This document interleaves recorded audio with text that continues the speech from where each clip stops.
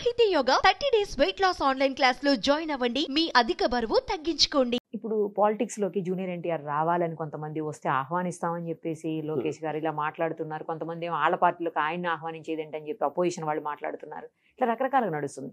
అసలు ఆయన నాకు వాళ్ళ ఆస్పెక్ట్ అనేది హండ్రెడ్ పర్సెంట్ ఒక తెలుగుదేశం అనేది ఎన్టీ రామారావు ఎఫెక్ట్ ఉంటుంది. కాబట్టి జూనియర్ జూనియర్ ఎన్టీఆర్ లాంటి ఇప్పుడు వస్తే హండ్రెడ్ పర్సెంట్ దానికి ఒక స్ట్రెంగ్త్ పెరుగుతుందని టీడీపీకి ఉండటం అనేది కానీ అక్కడ ప్రాబ్లం ఏంటి?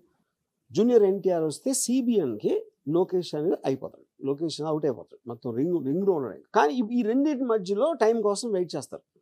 దానికి ఏంటి? Hmm. అడ్వాంటేజెస్ ఉన్నాయి. డిసడ్వాంటేజ్ లాంగ్ టైంలో ఉంది ఏదో అట్లీస్ట్ సిబిఎన్ గారు నాకు తెలిసి ఆయన ఏజ్ బట్టి. Hmm. నెక్స్ట్ దానికి వస్తే తారకు లోకేష్ అని కూడా హండ్రెడ్ పర్సెంట్ అవుట్ అయిపోతాడు. సిబిఎన్ గారికి ఏంటి అసలు టీడీపీ పార్టీ అనేది ఈ would of forgotten NT Ramarao గురించి. ఎందుకు? First of all he never had impression. ఆయన ఏం చెప్పారు? వెన్నుపోటు పడవలేదు పార్టీని ఫినిష్ చేసేస్తున్నాడు రాష్ట్రాన్ని ఫినిష్ చే వాళ్ళని కాపాడదామని నేను చేయాల్సి వచ్చిందని చెప్తున్నాడు. అంటే ఏంటి? వర్స్ట్ కేసులో వెన్నుపోటు పొడిచారు. బెస్ట్ కేసులో రా ఎన్టీఆర్ అంటే ఇష్టం లేదు.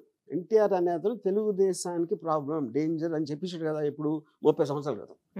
అప్పుడు చంద్రబాబు నాయుడు మైండ్లో NTR is the main guy. Sorry he is the main guy not NTR Telugu Desam party okay. అప్పుడు ఆ వారసత్వం తన కొడుకు ఇస్తాడు కానీ జూనియర్ ఎన్టీఆర్కి ఎందుకు ఇస్తాడు? తనకు దగ్గర ఛాన్స్ ఉంటే. కానీ ఇప్పుడు జనాల్లో ఎన్టీఆర్ అంటే ఇంకా ఎంత ఉంది. దానికి తోడు junior NTR is very big super star అవును. ఈ రెండు కంబైన్డ్ ఎఫెక్ట్ తోటి తెలుగుదేశానికి హండ్రెడ్ పర్సెంట్ సూపర్ హెల్ప్ అవుతుంది. But at the expense of Lokesh. అప్పుడు పార్టీ ముఖ్యమా తన కొడుకు ముఖ్యమా అనేది అదొక అదొక ఇది. ఎవరంటే ఎక్కువ ప్రేమ. ఏదో కష్టపడి ఏదో చేసి పాదయాత్రలు చేసి ఎంతో కొంత జూనియర్ ఎన్టీఆర్ స్థాయి పాపులారిటీ వచ్చేసింది అనుకోండి లోకేష్ అంటే ఒక తండ్రి కళ నేను చెప్పేది. దానికోసం నేను ఇందాక వీడియో లైబ్రరీ అది అదే ఆలోచన. ఆ ఇరవై మంది వచ్చేస్తారు అనుకున్నాను చూడండి. సిమిలర్ అది. జూనియర్ ఎన్టీఆర్ ఏమనుకుంటాడు? నేను ఇంతకు చెప్పింది సివిఎన్ జూనియర్ ఎన్టీఆర్ తన తాతగారు అంటే విపరీతమైన ఇష్టం గౌరవం. అప్పుడు మా గ్రాండ్ ఫాదర్ని ఎలా చేసాడు అని చెప్పి తను పోటు పోటు వెయిట్ చేస్తూ ఉంటాడు టైం కోసం. సీనియర్ ఎన్టీఆర్ మీద చేసిన దానికి రెవెంజ్ తీసుకోవడానికి వెయిట్ చేస్తాడు జూనియర్ ఎన్టీఆర్.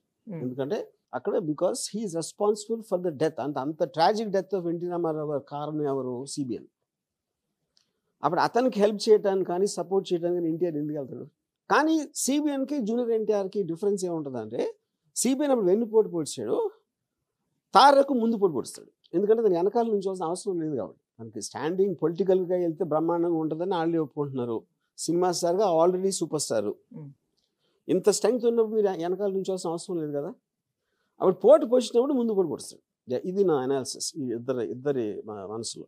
మీరు నిన్ను చాలా మంది సెలబ్రిటీస్ చనిపోతూ ఉంటే వస్తా ఉంటారు అందరూ. మీరు ఎందుకు ఎక్కడ విజిట్ చేయరు? ఇష్టం ఉండదు? నాకు డెడ్ బాడీస్ చూడటం ఇష్టం ఉండదు ఎవరిదైనా సరే.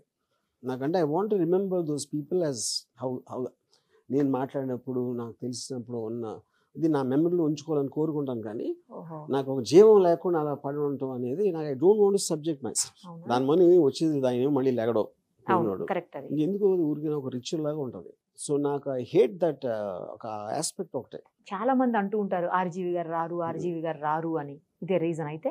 అంటే అదే రీజన్ నేను మళ్ళీ tweet చేస్తుంటారు. బచ్చన్ గారి చాలా క్లోజ్ బచ్చన్ గారి మదర్ పోయినప్పుడు నేను ఒక్కనే అవునా? నేను ట్వీట్ పెట్టలా మెసేజ్ చేయలేదానికి వెళ్ళలేదు ఇంటికి వెళ్ళదు టెన్ ఫిఫ్టీన్ డేస్ అయ్యాక ఇంటికి వెళ్ళా ఒకసారి. ఉమ్, అసలు టాపిక్ ఎత్తలేదు ఆ టాపిక్ ఎత్తకుండా వెళ్ళగానే ఏదో ఒక జోక్ చెప్పా. ఆయన నవ్వారు జోక్కి. అంతే అయిపోయింది. అది అది బ్రేక్ అయిపోయింది. నైస్ అంతే నాకు. నేను మళ్ళీ వెళ్ళి అక్కడ మాడిమోహన్ పెట్టుకుని ఓ ఈ గాదగదిక స్వరం ఇవన్నీ నాకు ఇష్టం ఉండదు.